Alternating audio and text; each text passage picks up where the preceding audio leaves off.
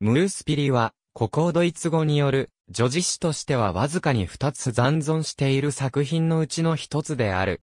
9世紀からある、ムースピリの写本のページ。上部の830年頃のラテン語の文章のもとに、870年頃に古いバイエルン語の詩が書き加えられた。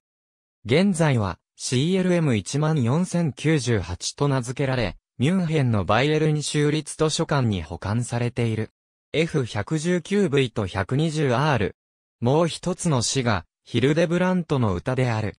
ムースピリは870年頃に成立したと考えられているが、現存するものは、詩の冒頭と結末が欠落している。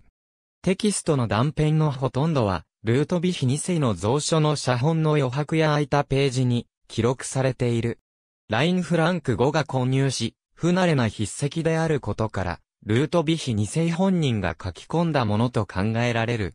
写本は現在、ドイツのバイエルン州立図書館に保管されている。1817年に再発見されたその詩は、ヨハン・アンドレアス・シュメラーによってテキストで重要な語にちなんで、マスピリーというタイトルを付けられ、1832年に最初に出版された。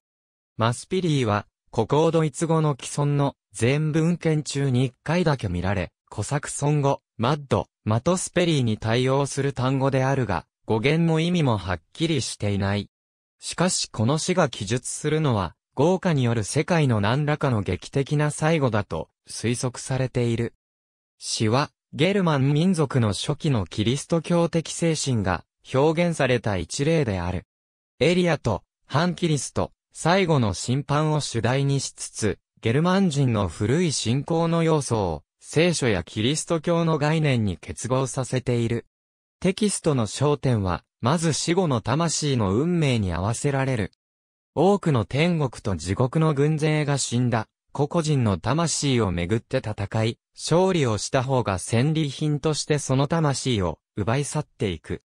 主題はもう一つの戦いに移り、最後の審判に先立って起こるエリアと、反キリストとの戦いが描かれる。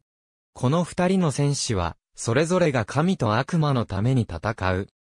反キリストは、倒れるであろうが、エリアもまた傷つき、血を大地に滴らせるであろうこと、そしてその血によって世界が豪華に包まれるであろうこと、すなわちマスピリーの到来が予告される。死の残る部分は、キリストの復活と最後の審判の日に関連している。44節から54節。ありがとうございます。